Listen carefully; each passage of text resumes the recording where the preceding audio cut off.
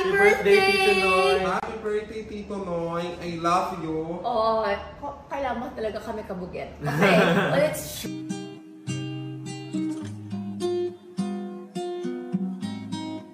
Chris Aquino binati ang dating Pangulo ng Pilipinas at ipinakita sa latest video ang kalagayan ngayon.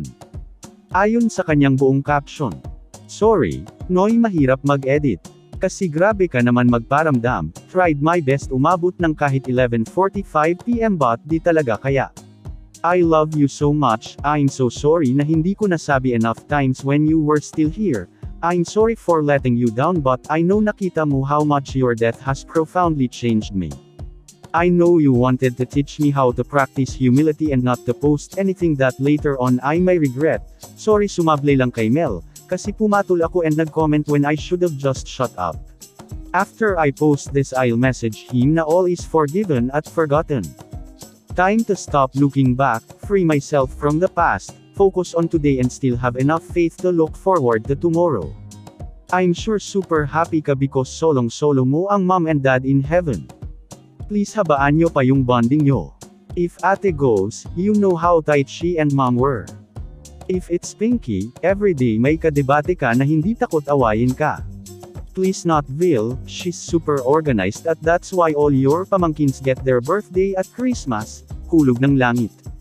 And if it's me you know naman, birthday mo so I'll behave, di ko na sasabihin but I know you know what I mean. We all love you and we really miss you but Kuya Josh at Beam, they still really need me. Ikaw nang bahala, okay. Bunso will try her best to be more like you, and yung inako kong mga binilin mong wag pababayaan ginagawa talaga. Remember your last sona. May mga leaders kang in-invite, you called me to join you with them sa picture taking. You said nung 1998 sila yung unang sumuporta and kung wala sila, hindi mo maaabot yung inabot mo. Hinanap sila ni Alvin at Kuya Nori, I made sure they felt our gratitude at hashtag love love love before mom's birthday. Mahaba na to. To be continued tomorrow. May tribute po ako for Noy but my brother deserves excellent editing kaya later po. Narito at ating panuuri ng kabuuan ng video. Happy birthday! Happy birthday, Tito Noy. I love you. Oh, ko- kailangan mo talaga kami kabugin. Okay, well, it's true. Totoo naman talaga. Super love ni Kuya. And obvious because ikaw rin naman ang favorite niya. So, okay. Sorry, Bill. I know it's okay. Yeah, I know he loved me as well. But tell us much. Okay, we don't have to say that. Oh, okay. so anyway, happy, happy birthday. And um, you would have been 62. Two.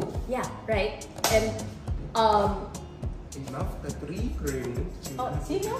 Si Ate Ted. okay. Anong connection? Relax ko eh. Oh, wala mo connection It's sa okay, Roy. relax. Okay, anyway. Hindi. Um, Love Ate Ted. you know, yung magkasunod na halos ang birthday namin. I guess, nung birthday niya, gusto niya na akong regaluhan niya. So, guys, Oh. You go there. Yes. Can I walk in? Yes. Yeah, because. I might get emotional. So you Do go. you want a Kleenex? Uh, no. Okay.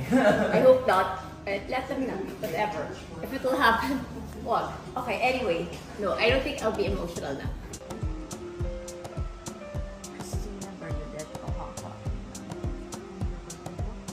February.